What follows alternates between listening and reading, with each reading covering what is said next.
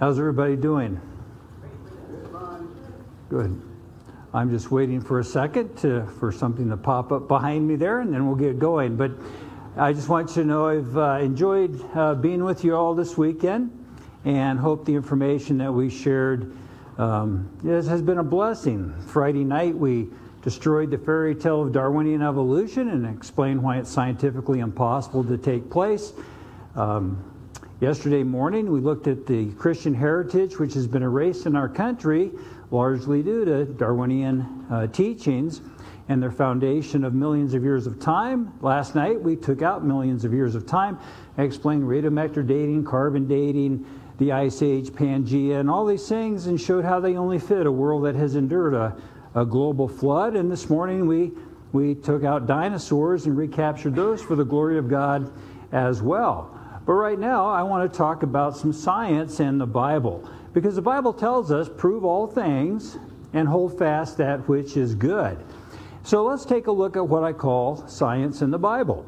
Now, realize, first of all, that I'm not saying the Bible is a science book. It's not, it's the true history book of the universe. But where it makes statements that can be historically or scientifically um, verified, if it's the Word of God, it should hold up just fine, and it does, word for word and cover to cover.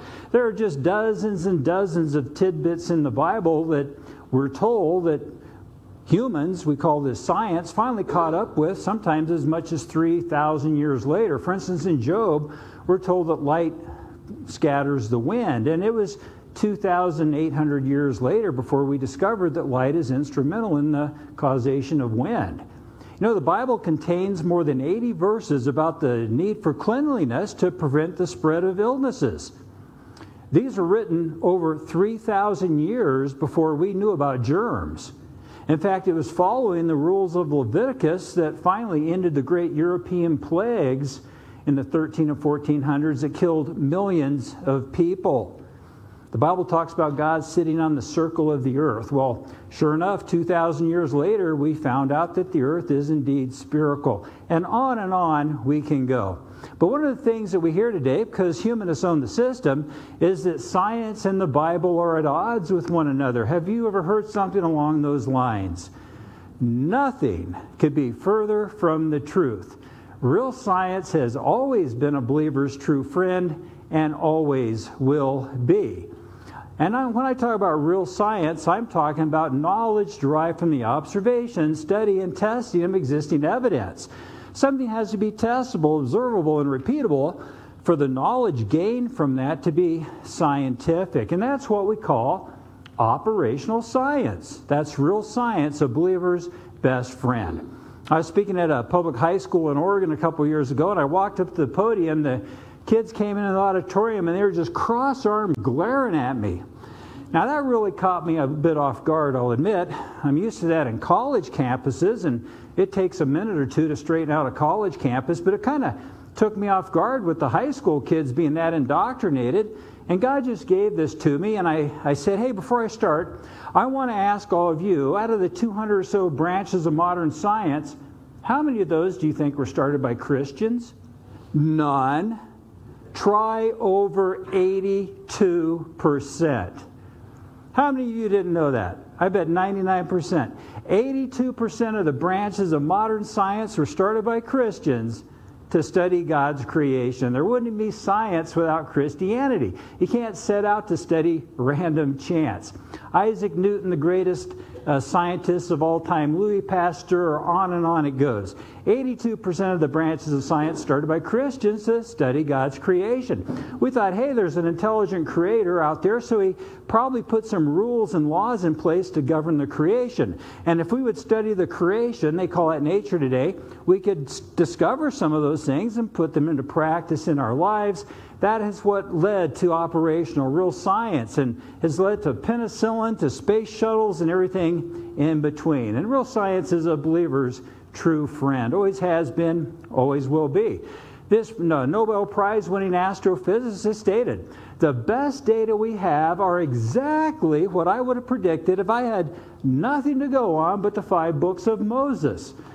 There is no reason not to read God's Word and believe God's Word, word for word and cover to cover. Now, the Bible is the only book in the history of the world that lives on its ability to correctly predict the future. About 1,700 prophecies have been made that have already come true. 1,700 for 1,700. Now, every religious text and even science books make predictions. We can call those prophecies. And maybe in, in most religious texts, one out of five come true and four out of five don't. The Bible is about 1700 for 1700. In fact, God even tells us the way you know it's the true Word of God is the prophecies will come true. So that's how you tell the Word of God from any false teaching. One of the great prophecies in the New Testament, given to us about 2,000 years ago, is found in 2 Peter 3, where we're told there will come in the last days scoffers. Anybody see a scoffer? Wow, there's a few of them out there today, right? fulfilling biblical prophecy, by the way. And it goes on these scoffers are going to claim all things continue as they were from the beginning. Well, that's a process today known as uniformity. If you want a big word, uniformitarianism. It just means things are uniform. In other words, processes we observe today, they claim have always been pretty much the same. They've been uniform. That's the way they'll look at the Colorado River and measure the amount of sediment coming out of the canyon in the Colorado River. And assuming it's always been the same, uniformity, they look at the size of the canyon and they extrapolate backwards and say it took the river millions of years to dig out Grand Canyon. How many of have been to Grand Canyon? Yeah, I lead tours to Grand Canyon. I can turn that teaching upside down in 60 seconds at Grand Canyon and recapture for the glory of God. Uh, we'll probably talk about that in a few minutes. Um, but uniformity is one of the keys the scoffers are going to claim in the last days. And that brings us to historical science. When I speak on a college campus, I explain the difference between operational science and historical science. And the scoffers in the crowd always go, We've never heard of historical science. And I say, Yes, I told you I'm going to show you things they won't tell you here because it undermines their worldview. Historical science is not knowledge derived from the study of evidence.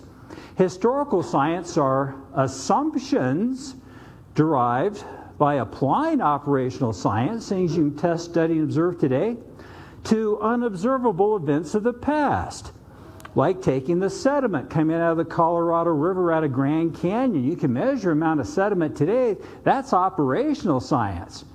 But to say it's always been the same in the past is historical science.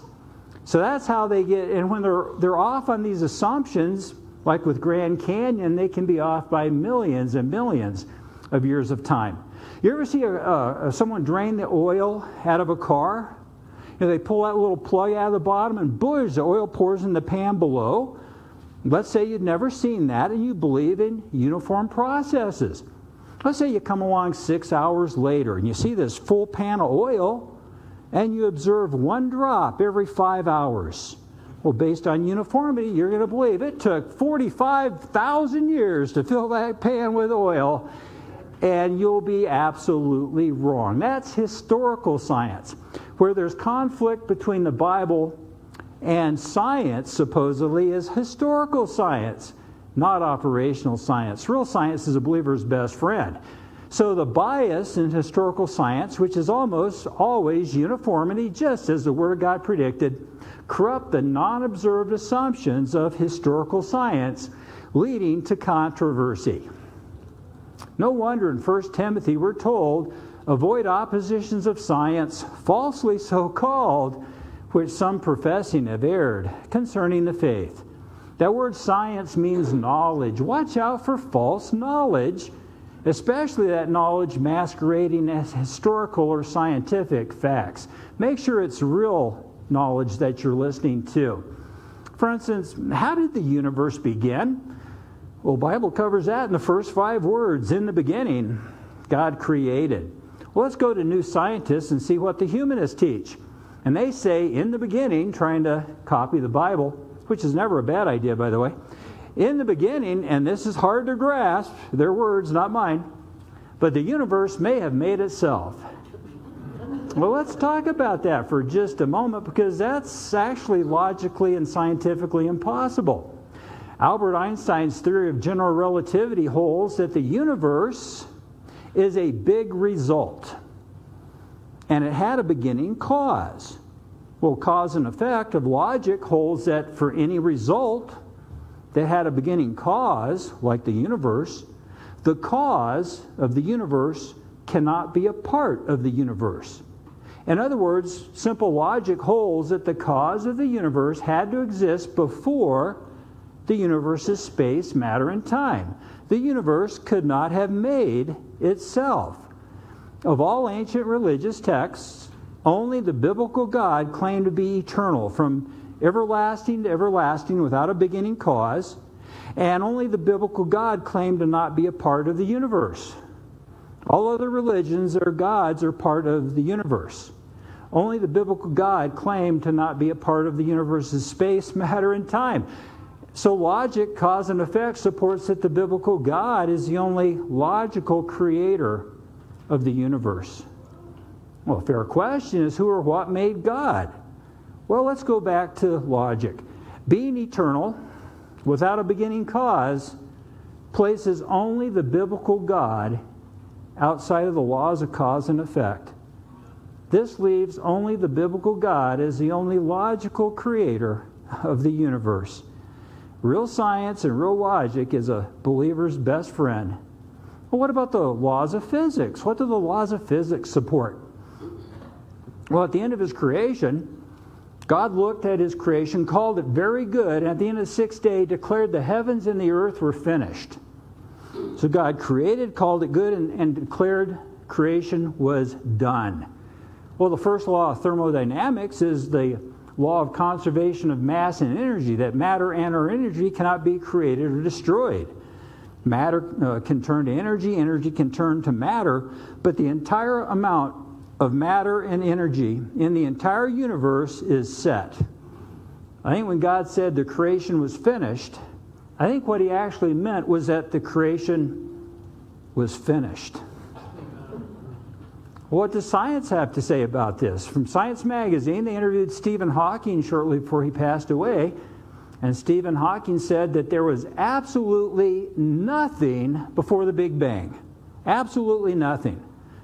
Well, going back to the first law, matter and energy cannot be created or destroyed, holds that if there had ever been a time in the past when there was nothing, there would be nothing today.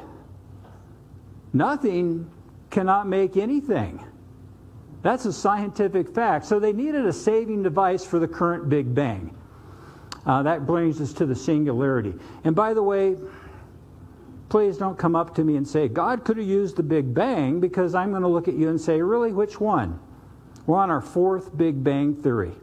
They've all been debunked, including the current one. There was the steady state Big Bang, there was a hesitation model Big Bang, there was the oscillating Big Bang, now we're on the expanding Big Bang. The cover story of the 2011 Scientific American was they need to get rid of the current Big Bang because it's got so many holes they can never fix it, but they can't get rid of it. Because the only place to go from there is in the beginning God created and they don't want to go there. So let's talk about the singularity. They needed something to save the current Big Bang because nothing cannot produce anything. So they have to have a singularity that exploded and became everything. So the singularity holds that all the matter in the universe, all the matter and energy in the entire universe, not just the matter to make this building, not just the energy and matter to make the earth, but the entire universe's matter and energy was squished together into a tiny dot about the size of a period at the end of a sentence. That makes a lot of sense, right? Anyways, that's the singularity. And it exploded. Well, I'll get in trouble if I say exploded. It expanded rapidly, which sounds a lot like an explosion to me, but that's where the energy and matter supposedly came from to save the current Big Bang. Well, let's go back to science and see what Stephen Hawking has to say. The laws of physics cease to function inside of the singularity. In other words, it goes against the laws of physics, but they're going to teach it anyways because, again, the only other viable answer, or I should say, the only viable answer is in the beginning, God created. A letter signed by dozens of physicists in New Scientist magazine titled Bucking the Big Bang had statements that included the Big Bang Theory can boast no predictions that have been validated by observation, by real science, a believer's best friend. And the theory uh, relies on a growing number of never seen entities like the singularity, dark matter, inflation, etc., and can't survive without these fudge factors. They went on to state, and no other branch of science would this nonsense be accepted. The biggest scientific breakthrough, supposedly announced headlines around the globe in 2016, was the discovery of inflation supporting the Big Bang Theory. And it quietly disappeared in 2017. And when interviewed, the supposed discoverers admitted, well, we never actually found any proof of it, but we wanted to believe it so bad, we just said we did. Mind boggling. Beware of science, falsely so called. In Hebrews, we're told that the uh, earth and the heavens will perish. They're going to wax old, they're going to wear out, lose energy, and erode away, waste away. That brings us to the second law of thermodynamics, known as the law of entropy. That things tend toward disorder, they lose energy, and they wear out. Real science, a believer's best friend. By the way, the second law, the law of entropy, is the most accepted law in every branch of science except evolutionary biology, which teaches things are getting bigger and better. We'll talk about that in a couple of moments. But back to the second law, things get worse and worse. The Big Bang claims nothing got better and better, evolving into living systems, genetic information, molecular motors, complexity, intelligence. In real science, never has any of that been observed coming about on its own in nature. How many times? Zero. Hmm. The Big Bang makes no logical and no scientific sense. The Big Bang is sacrilegious attempt to explain the universe without God. If you've been saying God could have used the Big Bang, well, God could have done anything, but drop that and just start reading God's Word and put your trust in what He tells us. Hey, how in the world did life begin? Well, again, the Bible says, in the beginning, God created. Let's go to an NAU textbook used in a course attacking me in biblical creation. I spoke there so many times. One biology teacher quit her job and became a Christian and got a job teaching science in a Christian school. And one radical anti Christian professor, whose dad was a Bible college professor, went off to college, got convinced the earth was billions of years old, putting death before Adam, and lost his faith. He's now an outspoken anti uh, Christian. He told me face to face, I've misled hundreds of Christian kids and I'll mislead hundreds more. I said, You said it correctly. You mislead them. You lied to them. You know you're lying to them. And he started this accredited course attacking me in creation. For their final exam, they made fun of me for an hour and a half. Is that the maturity level in colleges today? Oh, yeah, on a good day. Yeah. Anyways, they wouldn't let me come in and, and speak in the class. I would have been glad to taken on all of his objections. But in that class, they used the book written by this rural, outspoken atheist, so you know her, her biases, who, and she's the president of the National Center of Science Education. So I thought, well, let's go to the president of the National Center of Science Education's modern textbook to see how she explains the start of life without God. And on page 26, it says, the origin of life was a continuum of events with a lot of iffy stuff in the middle. That's the modern college explanation of how life started without God. Well, what about uh, real science, a believer's best friend?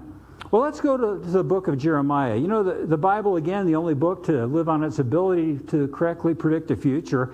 Now, this was given to the ancient Israelites, but they were told people would turn their back on God, saying to a stone, Thou hast brought me forth. Well, we're too scientifically sound and technologically in, uh, superior today to let anyone tell us we came from a stone, right? I mean, you would never let anyone tell you you came from a stone, right? You certainly never let them teach that to your children and grandchildren, right? Well, let's go to the modern college textbook and let's see what kids are being taught. Kids, Earth is thought, believed, to form four and a half billion years ago. That's historical science, by the way and the earth started, scientists theorize, i.e., believe, as a big ball of hot rock, and oceans formed as it rained on the stone for millions of years, and poof, here you are. they are teaching you came from a wet stone, a wet rock. I have atheists come up to me get right in my face. So you believe you're invisible, God created the world. I just look them back in the eye and say, You think we came from a wet rock. You should try it. You'll like the result. They will stutter backwards and they will regroup and say, You're making fun of our position. We don't believe that. I say, Hey, wait, I, I don't mean to make fun of your position at all. I just don't think you really have thought your position out very well. But you believe in the Big Bang, and they'll say, Right. Don't get into which one or the fact they've all been, been debunked. Just say, You believe in the Big Bang, right? They'll say, Yes. So, so billions of years later, a big rock formed, right? Yeah. And it rained on the rock for millions of years, right? Yeah.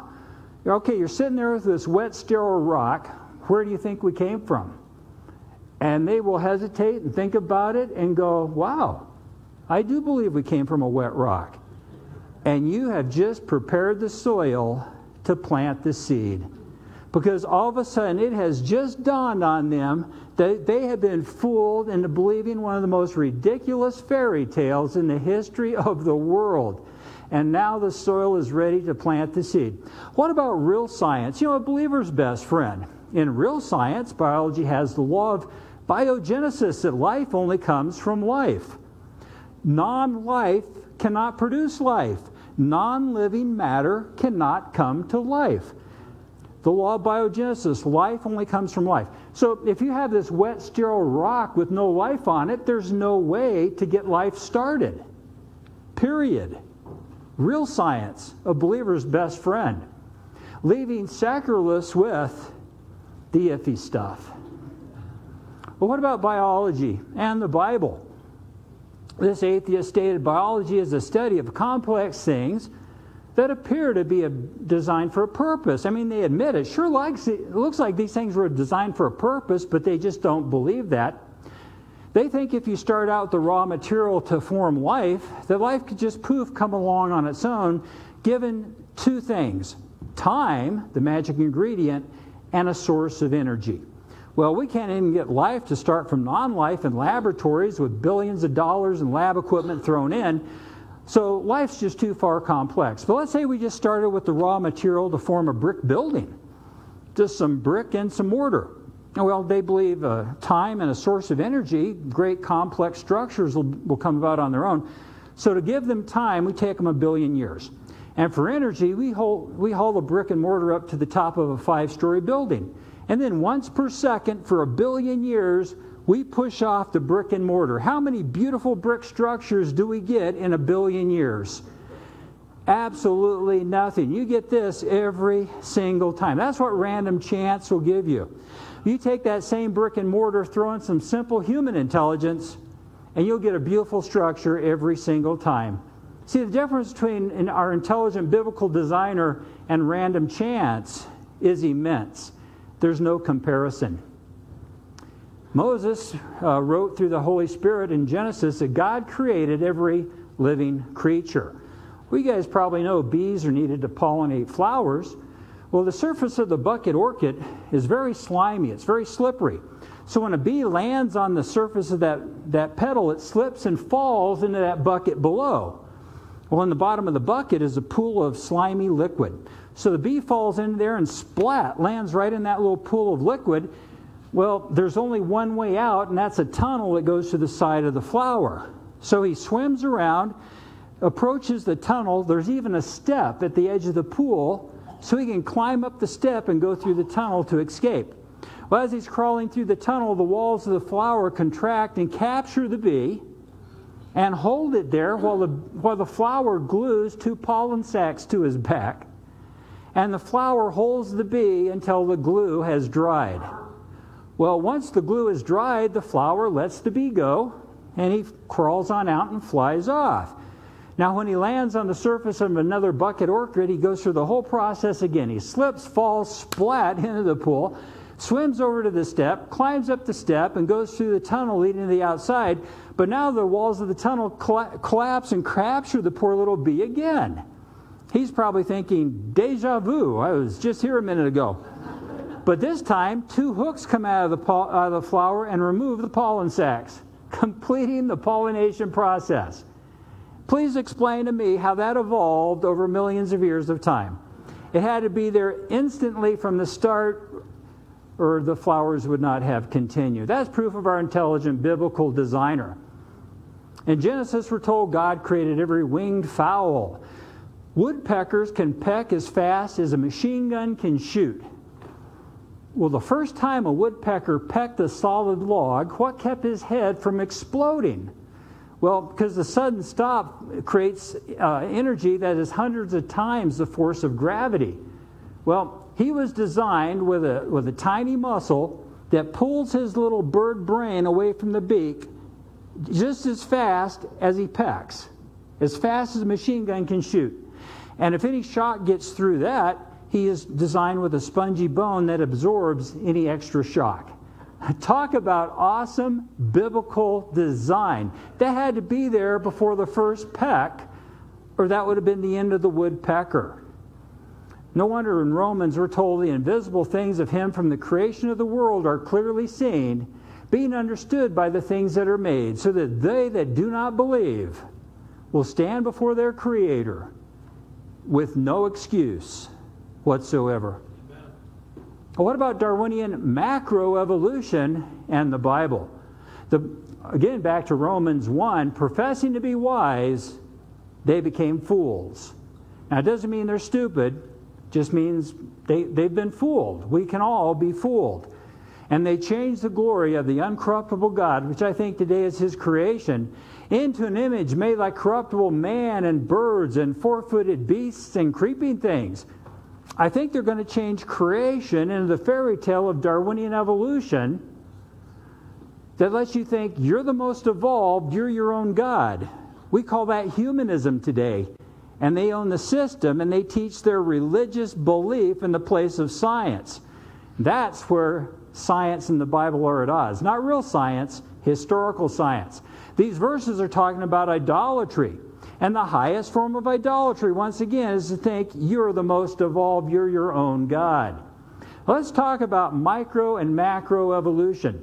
If you understand the difference between these two, you could debate a Darwinist anywhere in the world, from the local high school to Harvard, Stanford, or um, Oxford, or anywhere in between. Darwinian evolution is macro change, macro evolution and it requires massive amounts of new and beneficial genetic information being added to a gene pool to change, let's say, a dog into a whale, which is almost what they teach in schools today. As of an hour ago, there's never been a single example of Darwinian macroevolution found to have taken place that'll hold up to scrutiny. And I covered this Friday night in our top 10 Darwinian lies in the textbooks. What about macroevolution, or excuse me, microevolution? Microevolution is the only thing ever observed, and it's observed in every such experiment on these issues. Microevolution is best called microadaptations or microvariations. Best get the word evolution out of there because Darwinists will show you microevolution and switch the discussion to Darwinian macro and fool kids by the millions into thinking Darwinism's true when actually there's never been an example found. Micro change, micro adaptations, and variations are caused by the sorting or loss of the parent's gene pool. Macro needs massive amounts of new and beneficial genetic information added to cause things to get better and better against the law of entropy, by the way. Micro is caused by the loss of information as things get worse and worse, and that's the only thing real science, a believer's best friend, has ever seen. So I talked this morning about the uh, dogs on Noah's Ark. You didn't have to take all 350 pairs, uh, one pair with the full canine gene pool, and they brought forth after their kind by the loss of information. That's microadaptation or microevolution or micro variation. It's like saying I stepped out on the front porch, front deck, front patio. It's all the same thing. So it's a scientific fact that micro takes place. And it just means kinds only bring forth after their kind. It's the only thing real science has ever seen. Why is it vital for Christians to understand that the only thing real science has ever observed is that kinds only bring forth after their kind? Why is that vital? Because 10 times in the book of Genesis, we're told plants or animals will bring forth after their kind. And the only thing science has ever observed is that plants or animals will only bring forth after their kind, with micro changes due to the loss of information taking place. So kids are given lots of examples of biblically correct micro change, but then they're led to think in terms of Darwinian macro change and are misled not by the millions, by the billions. We're losing 90% of Christian children by the age of 20, and they list Darwinian evolution as the number one reason. And the number two reason is the church having no answers. We've got the answers, there's the answer right there. But this answer gets blocked because of old earth beliefs that have inundated the church today, putting death before Adam. Sad. Micro changes, again, are caused by the sorting or loss of the starting functional genetic information. Gene pools get weaker and weaker. It's known as genetic depletion, gene depletion. And this is how I show people how to destroy Darwinism in four seconds flat. Start your watch. Gene depletion plus natural selection makes Darwinism impossible. Stop your watch. Oh, I'm sorry, that was just three seconds flat. That's the reason they've never found an example of Darwinian macroevolution. It never happened. It's a scientific impossibility. Gene depletion, things get weaker and weaker. If they went unchecked, they would corrupt the gene pool and everything would go extinct in less than 1,500 years. But they lose too much information, they die off. Now, we call that natural selection. That's really a misnomer. There's no such thing as natural selection, there's no selector standing there. It's really God's quality assurance program. Things lose too much information, and so they don't corrupt the gene pool, they die off. It's God's quality assurance program, and it makes Darwinism a scientific impossibility, which is why they've never had an example found of it having taken place. So, if we look at operational science, a believer's true friend in, uh, biology and Darwinism, we see that the law of biogenesis holds that Darwinism never could have even started. The law of entropy holds things get worse and worse, just like micro change reveals.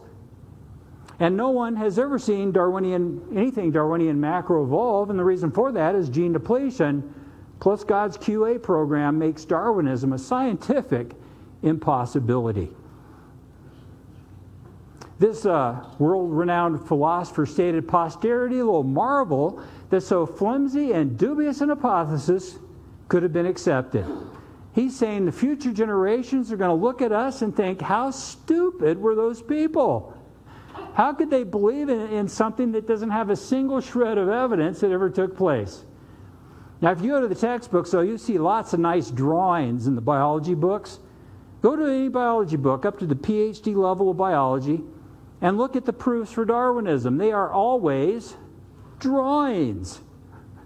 There's an old saying that goes like this Darwinists are experts at drawing things that never existed to support their theory that never took place. Yeah, you take away their box of crayons, they've got nothing. But they own the system, and they show kids biblically correct micro change caused by the loss of information and switch the discussion to macro change that needs massive amounts of new information added, and kids are fooled by the millions. And we would win this debate if we would get in it. We would win this debate in 60 minutes or less if we would just take it on. What about geology in the Bible? Is Earth really billions of years old? Well, again, back to 2 Peter 3. Those scoffers claiming uniformity are going to be willingly ignorant that by the Word of God, they're going to choose to ignore that by the Word of God, the world that was being overflowed with water perished. Why in the world would you deny the global flood? Well, you see, secular geology is based on the belief that the Earth's crust, those stratified layers laid down by water, their belief is based on this never having been laid down by a global flood. They say those layers form slowly and uniformly over millions of years of time, not quickly during a global flood. Secular geology is based on two beliefs uniformity and no global flood. Just like the Word of God said would take place in the last days, God told us this 2,000 years ago. And over the last 150 to 200 years, secular geology has become locked into two beliefs uniform processes and no global flood, just like the Word of God says. You see, the old Earth beliefs, as I showed last night, are based on how the Earth's crust formed slowly over millions of years of time or quickly during a global flood. So they have to deny the flood. According to the geologic column, which is that drawing of sediments made 200 years ago, that's where radiometric dating techniques get their ages from, the, the column. According to it, salt crystals formed 250 million years ago. But we find salt crystals today that have living bacteria trapped inside of them. How could they be a, a quarter of a billion years old? Someone sent me this package of rock salt. On the label, it says, according to the column, it's 250 million years old. At the bottom, it, it says it expired last month.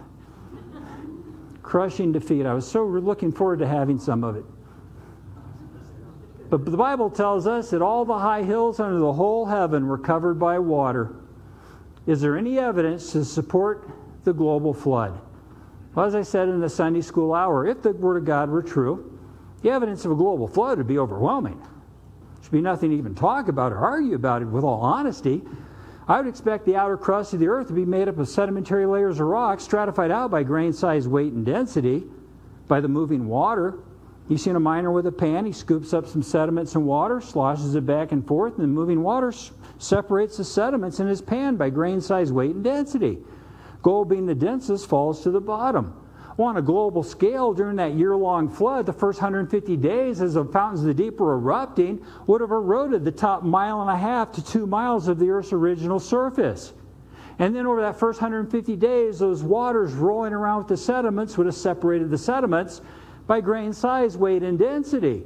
And over the second 150 day period of the flood, as they, the waters abated, they start laying those sediments back down. But they wouldn't just, just be one big brown conglomerate which you'd expect to find if they'd formed over billions and millions of years. No, they'd be separated by grain size, weight, and density. So you have all shale layered together, a whole limestone layered together, all sandstone layered together. And those layers quickly lay down in that flood would be full of billions of dead things that were drowned and buried before they could rot away or get eaten by scavengers. I mean, if the Word of God were true, it'd be obvious. So, what do we find today? The outer crust of the earth that we live on averages a mile deep of sedimentary layers laid down by water, stratified out by grain size, weight, and density. So you have all shale layers, all sandstone layers, etc. And those layers quickly lay down in that year long flood are full of billions of dead things that were drowned and buried so quickly they didn't have time to rot away or get eaten by scavengers. Mind boggling.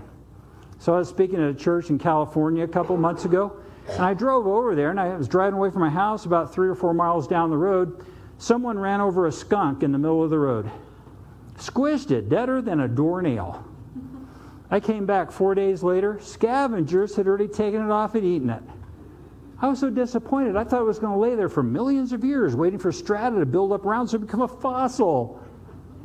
Things have to be buried immediately to become fossils awesome proof of the truth of God's Word. People say to me, I've never seen any proof of the global flood. I say, really? Look down by your feet. You're living on a mile deep uh, proof of the flood with all those stratified layers. You know, trilobites are found in the lowest layers with appreciable fossils. So we're told they were one of the first things to have evolved. Didn't trilobites live at the bottom of the ocean? Wouldn't they be the first things buried? So, of course, they'd be in the lower layer. You know, trilobites have the greatest, the most complex eye design ever discovered. A double lens system with up to 15,000 lens surfaces. That was the first thing to have evolved? really? No, they lived at the bottom. Of course, they're the first things buried. Proof of our intelligent biblical designer. We find geologic compression events around the world where entire mountain ranges, finely stratified layers laid down by water, are squished together like an accordion with up to 160 degree bends in the rock. How do you bend rock like this without breaking it? The layers are folded but not broken. They were still mud at the end of the global flood.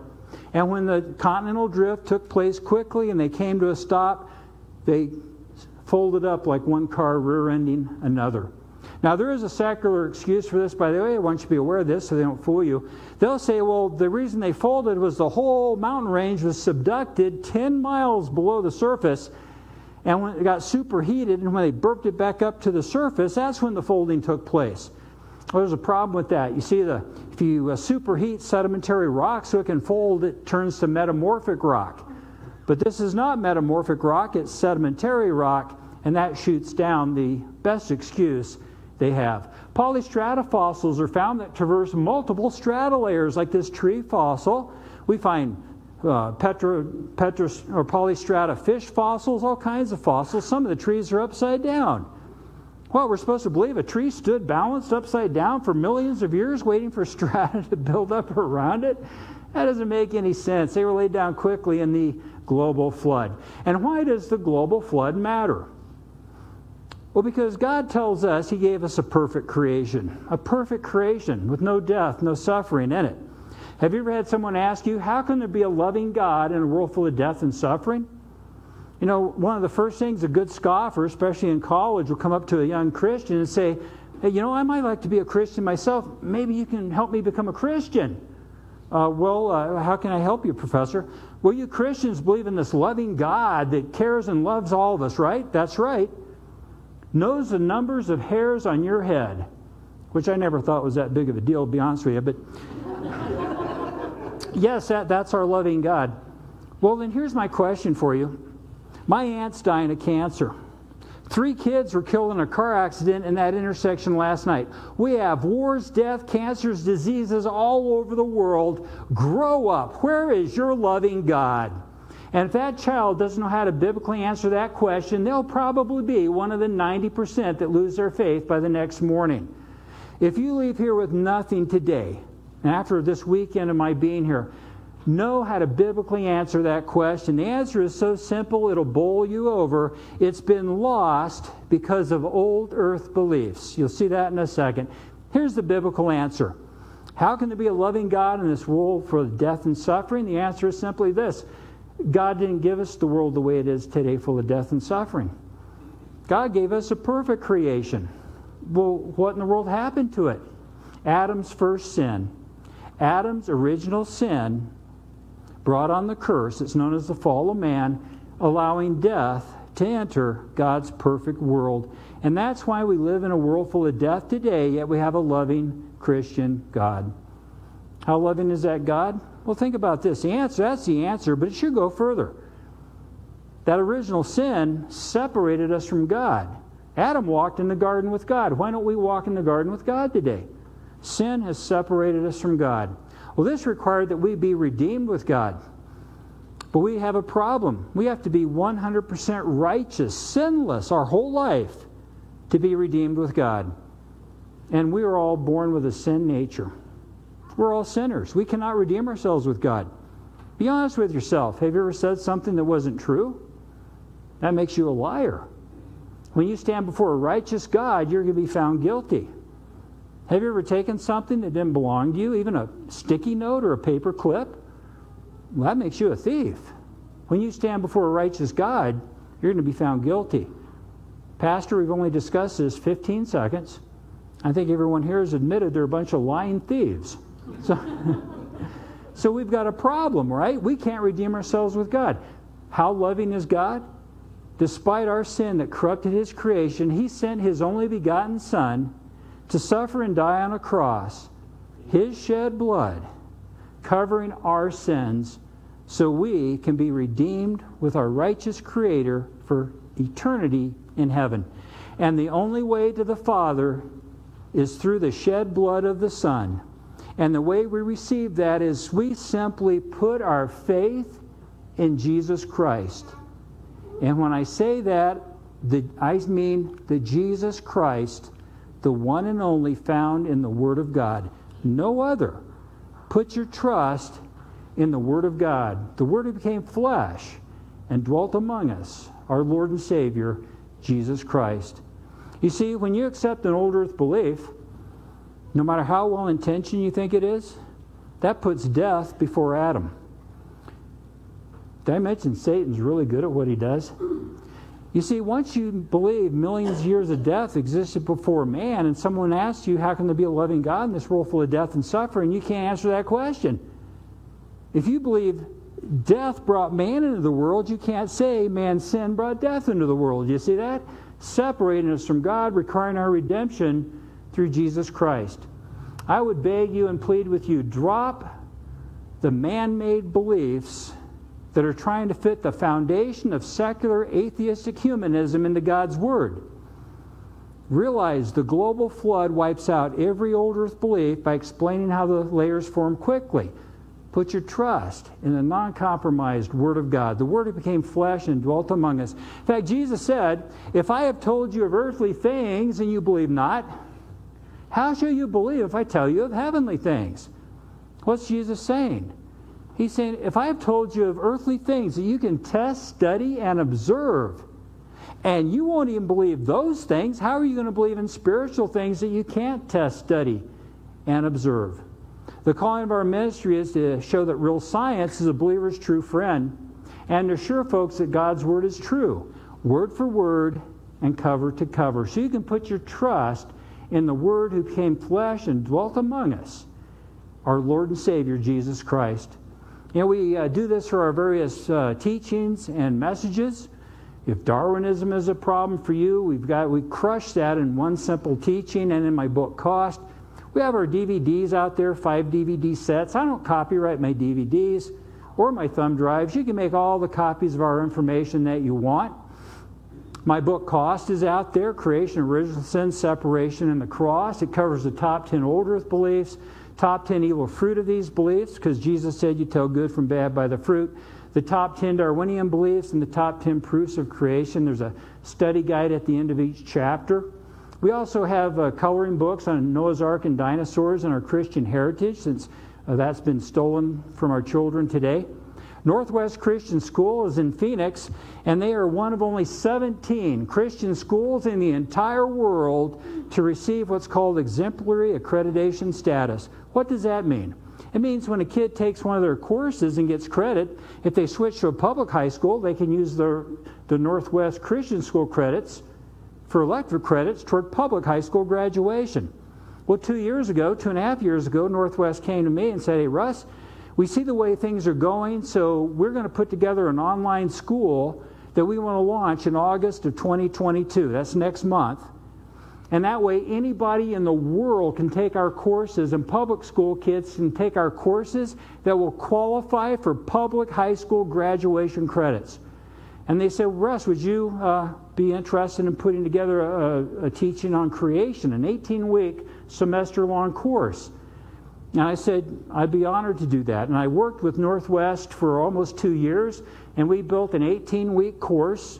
It's going to take about 85 hours of work. It's a full course, and built on my book cost. Also incorporates all of my videos in there and more. And it's called Creation Science and a Biblical Worldview. It'll launch next month, and anybody in the world can take it and any public high school student can take it and earn credit towards graduation. It's the first time the Bible and creation has been in our public schools in 60 years. If you know anyone with kids in public school, I mean, anyone can take it, homeschool, Christian school, but if you know anyone with high schoolers in public school, take down my website, creationministries.org, send that to them, tell them to go to that site, and on the left hand menu, the second one down says high school course. If they click there, it'll take them to the page that has links to the uh, Northwest Schools description and the registration page. We're losing 90% of our kids listing Darwinian evolution as the number one reason. Here's the answer right there. Please, if you care at all about these kids, get some information to them. We also have a, a, a thumb drive that only has four teachings on it. I let people make copies of my DVDs and thumb drives, have no problem with that. I encourage you to do it. But the problem with the five DVD set is there's so much information on there. If you give it to a scoffer or a skeptic or a compromising Christian, they may not know which one to watch first and they might watch the wrong one. These are the four teachings in the order I would give anybody a secular professor, a compromising Christian, an atheist, anyone, and it will make a big impact on them, starting with the top 10 Darwinian lies, ending with the top 20 skeptical questions and answers. We have uh, thumb drives out there, uh, the one with the four teachings. We have another one that has over 800 items. Uh, I won't go into that. You can see that out there and, and talk uh, with Laura out there at the book table if you're interested. But when we look at science in the Bible, I'll end with this. I think what we really find is operational science should be defined as knowledge derived not from the uh, study of evidence, but from the study of God's creation. Sir Francis Bacon, Christian and known as the father of the scientific method, stated, A little science as strange as a man from God, but a little more will bring him back. Put your trust in the Word of God and realize that true science is a believer's true friend, word for word and cover to cover. Let me end my part with a word of prayer. Dear Heavenly Father, I thank you for this morning and every dear soul that's here. Thank you for the uh, Pastor Rick, Pastor Larry, and the staff here and their willingness to stand on your non compromised word, word for word and cover to cover. And it's in the name of my Lord and Savior, the Word that became flesh and dwelt among us, Jesus Christ, that I do pray. Amen. God bless you guys.